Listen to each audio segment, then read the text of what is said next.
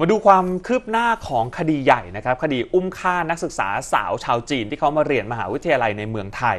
แล้วปรากฏว่ามีชาวจีน 3 คนเนี่ยมาได้จับตัวเธอไปเรียกค่าไถ่แต่ต่อมาเนี่ยมีการสังหารเธอแล้วก็นำศพไปทิ้งร่องน้ำในจังหวัดนนทบุรี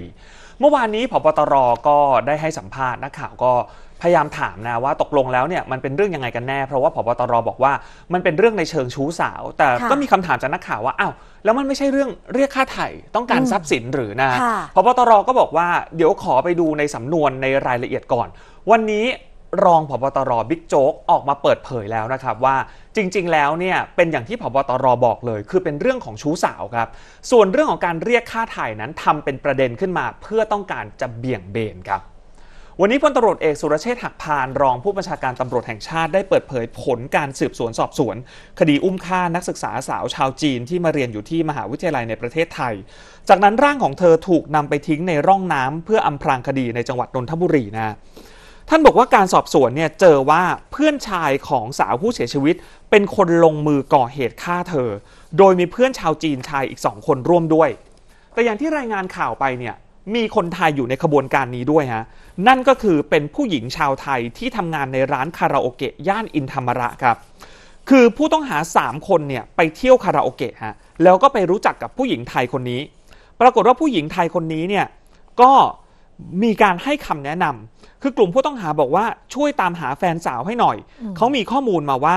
เรียนอยู่ที่มหาวิทยาลัยเอกชนแห่งหนึ่งเป็นเบาะแส และยินดีจะจ่ายค่าจ้างให้ 50,000 บาท ทีนี้ผู้หญิงคาราโอเกะคนนี้เนี่ยมีเพื่อนเรียนอยู่สถาบันเดียวกัน ก็ดึกก็เลยบอกว่าให้เพื่อนเนี่ยช่วยติดต่อแล้วก็ไปขอไลน์ของผู้เสียชีวิตมา จากนั้นก็นัดพบกันคือเป็นนางนกต่อให้นั่นเองโดยค่ะพฤติการพอเจอกันแล้วเนี่ยฝั่งผู้ชายพยายามที่จะล่วงเกินฝ่ายหญิง แต่ฝ่ายหญิงผู้เสียชีวิตเนี่ยเขาไม่ยินยอมนะทางกลุ่มผู้ต้องหากลุ่มนี้ก็มาปรึกษาผู้หญิงไทยว่าทำไงดี สุดท้ายนำไปสู่การฆาตกรรม ทีนี้ประเด็นที่สงสัยก็คืออ้าว มีการเรียกค่าไถ่คิดเป็นเงินไทย2ล้าน5แสนบาท ไปที่คุณพ่อของผู้เสียชีวิตนี่นาบิ๊กโจ๊กบอกว่าจากการสืบสวนเนี่ยพบว่าเรื่องเรียกค่าไถ่เป็นเพียงการเบี่ยงประเด็นเพื่อจะอำพรางคดีเท่านั้นเองครับ ลองฟังเสียงบิ๊กโจ๊กดูฮะไอ้นี่ก็แปลว่าเขากำลังตามตื้อฝ่ายผู้หญิงอยู่หรือเปล่าเนาะเพราะถ้าคบหากันมันก็น่าจะนัดเจอกันเองได้อะใช่ครับใช่ครับอืมก็ก็ก็มีส่วนเดี๋ยวเดี๋ยวต้องรอการสอบปากคำนะฮะนะเพราะว่าเมื่อวานก็ส่งไปประเทศจีนแล้วนะครับสี่คนนะ นะคือคืออย่างนี้เอ่อเขารู้จักกันที่เมืองจีนแล้วนะครับ อืม แต่ว่าเขาอาจเขาเขารู้ว่าผู้หญิงคนนี้มาเรียนที่เมืองไทยนะครับนะแล้วก็เอ่อเขาก็เลยบินมาตามมาเมืองไทยนะครับนะก็อยู่ในช่วงที่เอ่อกำลังเป็นแฟนกันนะครับผมจากการฟังคำให้การของผู้หญิงไทยนะครับ แล้วก็จากการฟังคำให้การของผู้หญิงไทยบอกว่าเอ่อคนจีนบอกว่าผู้หญิงดังกล่าวนั้นไม่ยอมนะก็คงจะไม่ยอมที่จะ เอ่อเกินเลยหรืออะไรเกินเลยนะครับอืมนะที่จะเกินเลยฝ่ายหญิงนะเวครับลามาอยู่ไทยแล้วมีมีคนอื่นไหมครับ มีแฟนเป็นคนอื่นไหมครับไม่มีไม่มีอืมไม่มีไม่ไม่มีแฟนหมายความว่าที่จะชู้สาวกันเนี่ยก็ไม่ใช่เรื่องเรื่องหึงหวงนะครับอืมก็เป็นเพียงแต่ว่าอาจจะเอ่อต้องการที่จะเกินหลังจากต้องการที่จะทำอะไรที่มันเกินเลยครับนะฝ่ายผู้หญิงเขาไม่ยอมครับนะครับ ก็เลยถามผู้หญิงไทยเนี่ยแหละนะว่าเอ่อทำยังไงดีอืมเอ่อเนี่ยเอ่อเขาไม่ยอมผู้หญิงไทยก็พูดเล่นบ่อยนั่นเอาไปฆ่าเลย อืม นะอันนี้ก็เอาไปฆ่าจริง แต่ผู้หญิงไทยเป็นคนแนะนำวิธีการครับ นะว่าถ้าฆ่าทำอย่างนี้อย่างนี้ ถ้าฆ่าก็ถ้าฆ่าก็เอ่อก็ต้องเอาเอ่อก็อย่าไปโรงแรมนะไปโรงแรมมีกล้องวงจรปิดเยอะนะถ้าฆ่าก็ต้องเอาใส่กลุ่มถุงดำอะไรต่างอืม ๆนะครับนะแล้วก็ผู้หญิงไทยกันดังกล่าวเนี่ยก็กำลังซื้อตั๋วเพื่อเดินทางตามไปเมืองจีนต่อผู้หญิงการเรียกค่าไถ่ใครแนะนำน่าจะเป็นเรื่องการอำพรางนะครับเพ ราะว่าเรียกเงินแค่2ล้านห้าเอง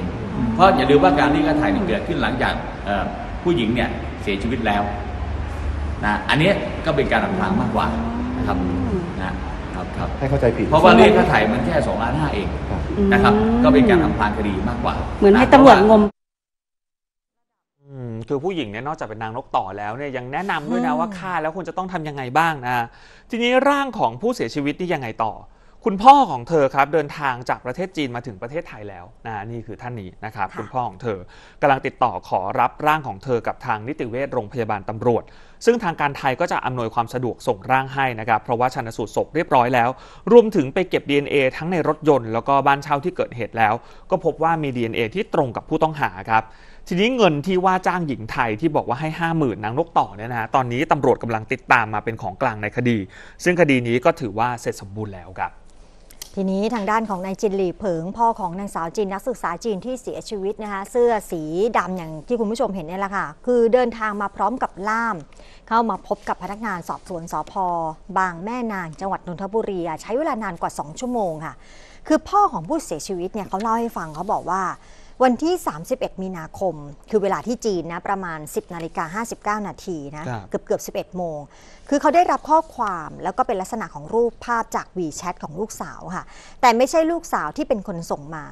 คือเป็นรูปภาพที่ลักษณะโดนมัดมือมัดเท้า แล้วก็เป็นข้อความเรียกค่าถ่าย บอกว่าลูกสาวเธอเนี่ยอยู่กับฉันนะ ต้องเตรียมเงินมา 5 0 0แสนหยวนหรือว่าถ้าคิดเป็นเงินไทยก็คือ2ล้าน5แสนบาท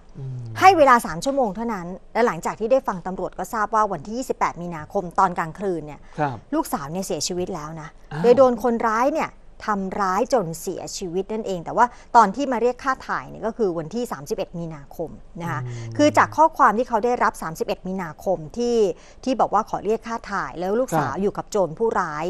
จริงๆเนี่ยคือลูกสาวเนี่ยได้เสียชีวิตไปแล้วนั่นเองค่ะ ก็คือตั้งแต่เสียก่อนหชีน้าวิตนั้น2อสวันแล้ว ใช่ค่ะก็คือตอนกลางคืนวันที่ 28 มีนาคม อันเนี้ยเสียชีวิตแล้วนะคะ แล้วก็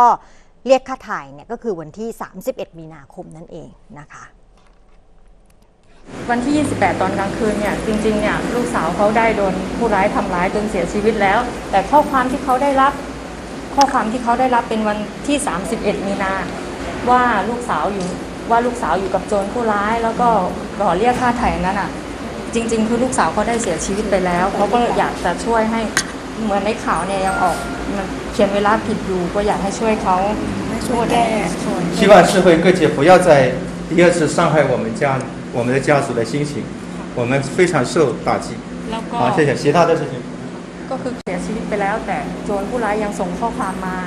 ค่ะแล้วก็ยังส่งมาทำทำให้ครอบครัวเนี่ยรู้สึกเสียใจกระทบกระเทือนจิตใจค่ะ